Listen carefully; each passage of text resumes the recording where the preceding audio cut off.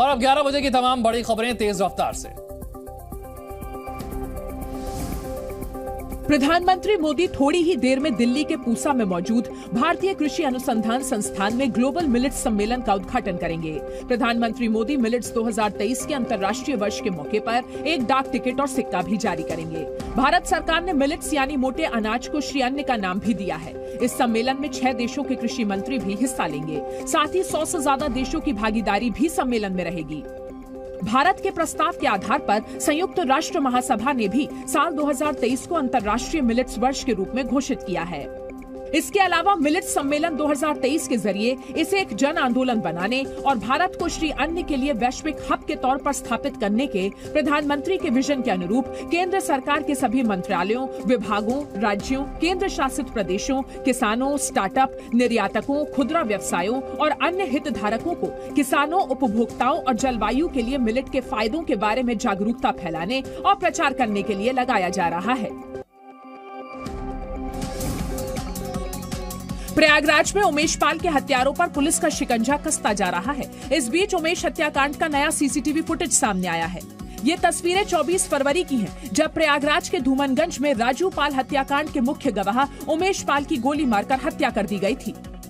हमलावर सफ़ेद Creta car में सवार होकर आए थे लेकिन भागते वक्त शूटर्स ने एक और कार का इस्तेमाल किया था। सफ़ेद रंग की ये कार बिना नंबर प्लेट की थी।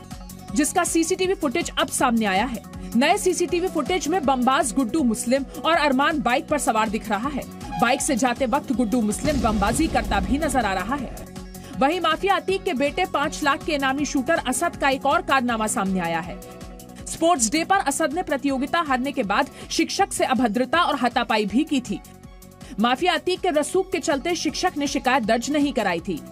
स्पोर्ट्स डे के मौके पर शिक्षक से हुई अभद्रता और मारपीट पर स्कूल में हंगामा भी हुआ था।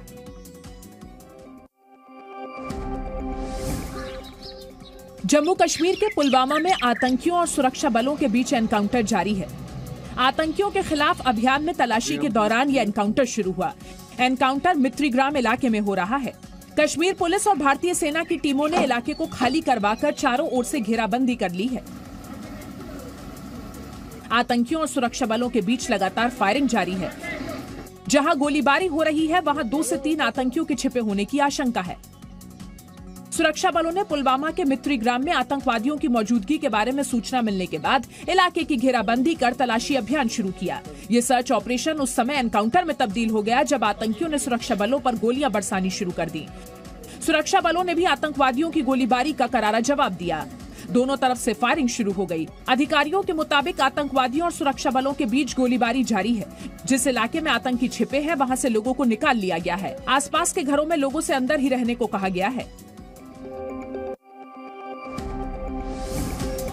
मुंबई से सटे मीरा रोड पर 18 और 19 मार्च को लगने वाले दिव्य दरबार को लेकर राजनीतिक बयानबाजी शुरू हो गई है। इस आयोजन को लेकर अखिल भारतीय अंधश्रद्धा निर्मूलन समिति ने मीरा रोड पुलिस स्टेशन को एक चिट्ठी लिख शिकायत की है। चिट्ठी में लिखा है कि बागेश्वर बाबा के कार्यक्रम पर पुलिस रोक लगाए। धीरेन्द्र शास्त्री के यूट्यूब वीडियोस में कई बार देखने को मिला है कि वो जादू टोना करते हैं, मंत्र पढ़कर बीमारी ठीक करते हैं। ये सब अंधविश्वास को बढ़ावा देने वाली हरकतें हैं। महाराष्ट्र में drugs and magic remedies act 2013 कानून लागू है। ऐसे में कोई अगर अंधविश्वास फैलाने के काम करता है तो उसे ऐसे कार्यक्रम करने की अनुमति नहीं दी जानी चाहिए।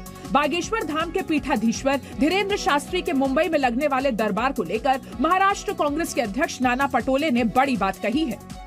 संत तुकाराम जी का जिस तरह से अपमानजनक उनने वक्तव्य किया, उसका मेरा विरोध है। इस तरह का अगर वक्तव्य होता है तो उससे महाराष्ट्र का क्लाइमेट खराब हो सकता है। 24 के युद्ध से पहले विपक्ष ने अपना मोर्चा सजाना शुरू कर दिया है, खासकर क्षेत्रीय दलों के बीच इसे लेकर अलग ही रणनीति तैयार हो रही है। शुक्रवार को समाजवादी पार्टी के अध्यक्ष अखिलेश यादव ने कोलकाता में पश्चिम बंगाल की सीएम ममता बनर्जी से मुलाकात की। मुलाकात के बाद उन्होंने विपक्षी एकता की बात की। कांग्रेस अपनी भूमिका तय करे और जहाँ तक सभा नाम का है, वो बाद में तय किया जाएगा। तेलंगाना के मुख्यमंत्री कोशिश कर रहे हैं। नीतीश कुमार जी बिहार के कोशिश कर रहे हैं स्टालिन भी कोशिश कर रहे हैं। इस दौरान अखिलेश यादव ने केंद्र और यूपी सरकार को रोज़गार और किसान के मुद्दे पर भी घेरा। आज देश में चरम सीमा पर महँगाई है। हमारा नौजवान भटक रहा है नौकरी नहीं मिल रही रोज़गार नहीं मिल रहा है। और किसान जिसको ये सपना दिखाया गया था कि आय दोगुनी हो जाएगी आज किसान बर्बाद हो गया है। अखिलेश ने इस दौरान ऐलान किया कि 18 और 19 मार्च को समाजवादी पार्टी की राष्ट्रीय कार्यकारिणी की बैठक इस बार कोलकाता में होगी। रामचरित मानस पर विवादित बयानों की लिस्ट अब बढ़ती ही जा रही है। इस लिस्ट में ताज़ा एंट्री बिहार के पूर्व सीएम जीतन राम मांझी की हुई है। रामायण को वाल्मीकि रामायण जी ने लिखा था, वाल्मीकि की पूजा क्यों नहीं लोग करते हैं? क्यों तुलसी की पूजा करते हैं? ये सब इधर आकर के जो मनुवादी व्यवस्था वाले लोग हैं वो विभेद कर दिया है और विभेद करने के बाद वो सुपरमेसी शो किया है। रामायण ठीक है लेकिन रामायण में बहुत सी ऐसी बातें हैं जो ठीक नहीं है उसको निकालना चाहिए। इसके लिए अंबेडकर ने भी कहा था लोहिया ने भी कहा हालाँकि जीतन राम मांझी के इस बयान पर बीजेपी और जेडीयू दोनों ने ही आपत्ति जताई है। लगातार धर्म और ग्रंथ के आधार पर बयान दिए जा रहे हैं। इससे कहीं ना कहीं जनता में एक नकारात्मक संदेश जाता है। यह बड़ा दुखद है कि जिसको भी अपना राजनीतिक हित साधना होता है वह सनातन धर्म के ऊपर कुछ न कुछ बयान और खास करके प्रभु श्री राम को टारगेट करके कुछ न कुछ बयान दे देते हैं। वहीं आरजेडी ने इसे जीतन राम मांझी का व्यक्तिगत बयान कहा है।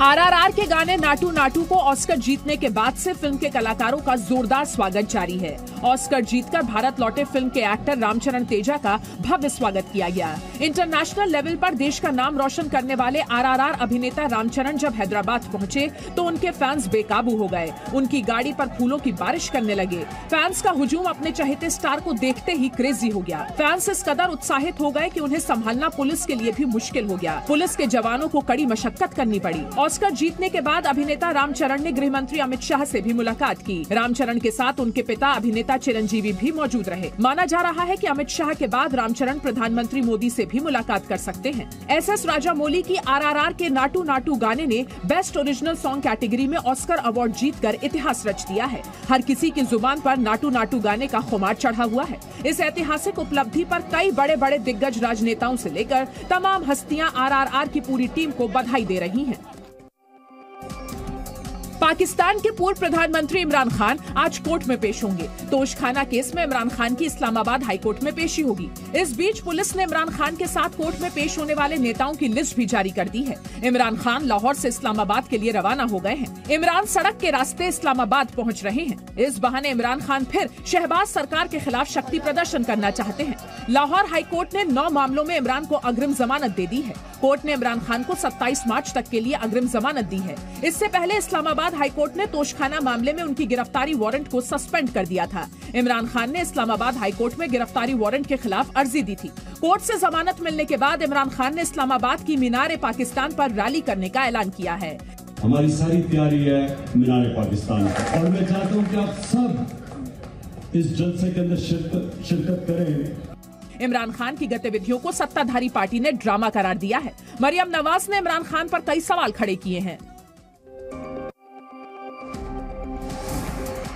तीन दिन से जारी रूस यूक्रेन की घमासान में शुक्रवार को समय बड़ा मोड़ आ गया जब अंतर्राष्ट्रीय अपराध न्यायालय यानी इंटरनेशनल क्रिमिनल कोर्ट ने रूसी राष्ट्रपति व्लादिमीर पुतिन के खिलाफ गिरफ्तारी वारंट जारी कर दिया The International Criminal Court has issued two warrants of arrest in the Ukraine situation. For Vladimir Putin, President of the Russian Federation, and for Maria Lvova-Belova, Commissioner of the Russian President for Children's Rights, for the alleged war crimes of deportation of children. Warrant जारी करते हुए ICC ने इसे एक अहम दिन बताया This is an important moment in the process of justice before the ICC. Putin के खिलाफ गिरफ्तारी वारंट जारी होने पर रूस ने नाराज़गी ज़ाहिर की है रूस ने इस वारंट को अपमानजनक और अस्वीकार बताया और कहा कि आईसीसी के फैसले कानूनी रूप से शून्य हैं। इस बीच रूस ने यह भी कहा कि जो भी फाइटर जेट यूक्रेन की मदद के लिए भेजे जा रहे हैं उन्हें तबाह कर दिया जाएगा कोरोना महामारी कैसे पैदा हुई इस सवाल पर शोधकर्ताओं ने लंबे वक्त तक काफ़ी माथापच्ची की है। लेकिन तीन साल बाद चीन एक नया दावा लेकर सामने आया है। चीन का दावा है कि कोरोना संक्रमण यानी कोविड चमगादड़ों से नहीं, रैकून कुत्तों से फैला है। इसमें खास बात यह है कि चीन ने रिसर्च को सार्वजनिक किया है, लेकिन डेटा एनालिसिस शेयर नहीं किया है। माना जा रहा है कि रैकून कुत्तों को चीन के वुहान में एक सी बाज़ार में अवैध रूप से बेचा जा रहा था। डब्ल्यूएचओ ने चीन पर डेटा छिपाने, देर से शेयर करने और पूरी तरह पब्लिक नहीं करने के आरोप लगाए हैं। वहीं डब्ल्यूएचओ का दावा है कि कुछ वैज्ञानिकों ने डेटा डाउनलोड कर लिया है और उसे स्टडी किया जा रहा है। डब्ल्यूएचओ के मुताबिक चीन के सीडीसी ने हाल ही में डेटा अपलोड किया है। चीन से मिले डेटा को एनालाइज किया जा रहा है। हम जल्द ही किसी नतीजे पर पहुँच सकेंगे। फ़िलहाल ये नहीं कहा जा सकता कि कोरोना संक्रमण चमगादड़ के ज़रिए आया या रकून कुत्तों के ज़रिए, या फिर किसी लैब से लीक हुआ। डब्ल्यूएचओ के मुताबिक चीन जितना डेटा जारी करता है, उससे ज़्यादा छिपाता है। Z News.